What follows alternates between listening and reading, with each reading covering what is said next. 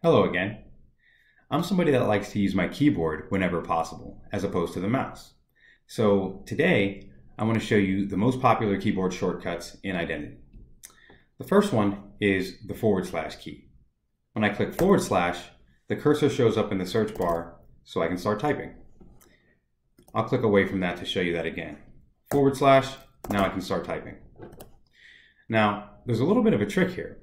If I do forward slash once, the cursor shows up in the search bar, forward slash again. Now I'm searching just tile and note names. So let me show you that difference.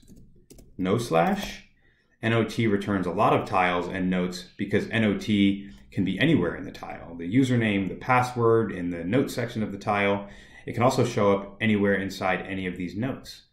But when I put a forward slash, only tile and note names that contain NOT. Now, the next one that I want to show you is the escape key. To show you this one, I'm going to put my finance category and I'm going to search banks and then I'm going to hit escape.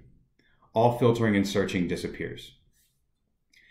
The next one that's super helpful for me is the enter key to automatically launch tiles. So if I do a search here again, I'm going to do that same one, NOT. You'll notice Notion in the first position.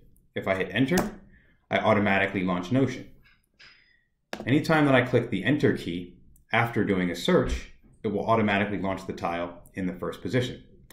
Now, finally, for those of you that really like to get geeky with keyboard shortcuts, if you hit Control question mark, it will pull up the full list of keyboard shortcuts, and you can play around with any of those.